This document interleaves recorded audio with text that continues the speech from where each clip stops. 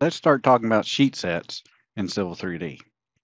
Sheet sets and the Sheet Set Manager are the tools that are created in Civil 3D that allow you to batch print layouts from one drawing or multiple drawings all at one time to create a plan assembly. Conversely, you could go to each individual layout, publish it as a PDF, bind them all together if you had a plan set and do it that way, or you can use sheet set and do one click and do them all. The sheet set manager is available on the home tab under the palettes and it looks like this roll of paper. Or you can open it by typing the sheet set command. Before we get going too quickly on the sheet set, let's go through what we have here. We got three lay three drawings, each with layouts in them with the sleepy one having two layouts in it. I'm going to save each one of these drawings real fast. I made some edits before the video. and then I'll reopen my sheet set manager. Now the sheet set manager, when you open it, you will see these three tabs. You have your sheet list, your views, sheet views, and model views. We'll go through these two in a later video.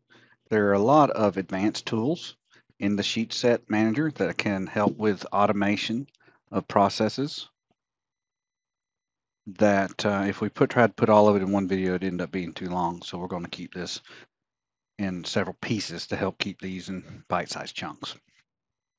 So let's just get started. With the sheet set manager open I'm going to click up here and I'm going to say new sheet set We'll open the wizard and in it you have the option to use an example sheet set if you have one already made or from existing drawings. For this video we're going to use existing drawings. Hit next, give it a name. Description you so wish and then folder location where to save the sheet set data file. Okay. The sheet set properties. And here is some of that metadata that I mentioned a moment ago. We're not going to go over it in this video but we will in a future one. And this stuff can come in really handy. I'm going to hit next and come over here. It wants you to select the folder that contains your drawings. And this brings up a good point that if you have a series of drawings that have layouts that you're wanting to be in your plan assembly, it is recommended that all of those drawings, those DWG files, exist in a single folder. And this is the reason why is because if I hit browse, it's wanting to go to a folder. If I hit here and hit OK, I will see every DWG in this folder and its associated layouts, and I can check them here all at once. So I don't want the border drawing layout, but I want these four. So I'll hit next. Here's just your confirmation, and I will hit finish. And you will see that it brought in those layout files. I got lucky and these all came in in order, but if I wanted to rearrange them, I can select it and then click and hold, and I'm able to drag these around in order.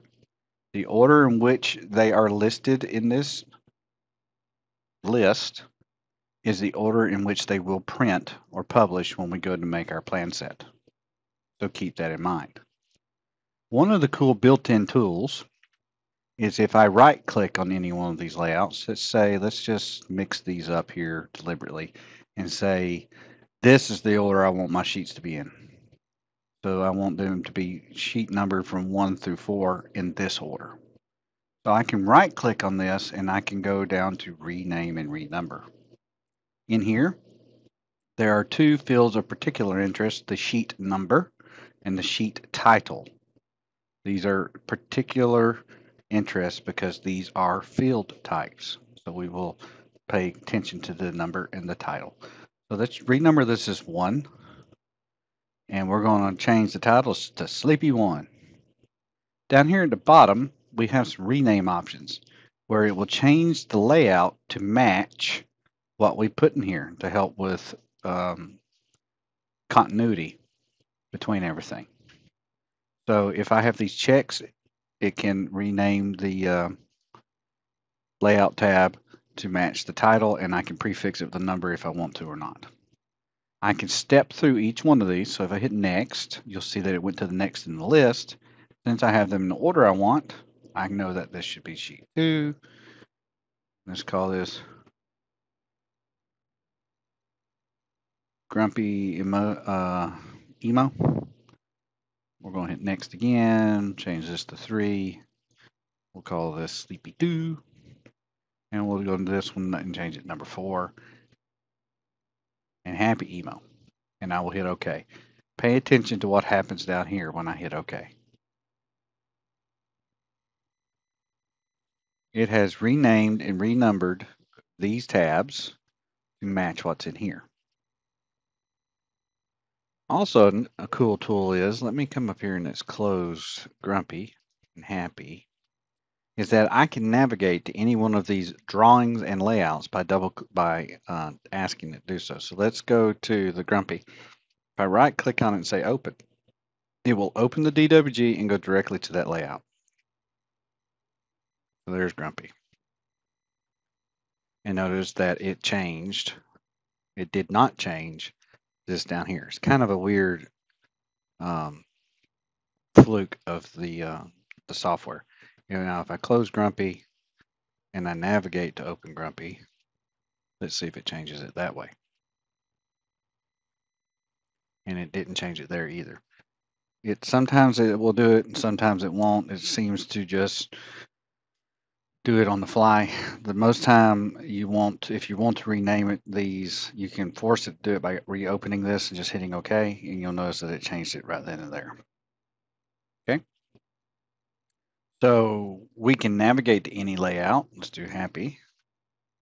Open happy up. Just by double clicking these.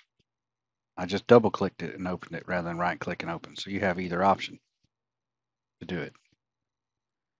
Now with these four in here, let's make a batch print. So I'll come over here to this publish icon and let's publish as a PDF. And uh, let's put it on the desktop here. And I'm just going to hit select and let it do its thing. And it printed with no warnings or errors. So I should be able to open it right here.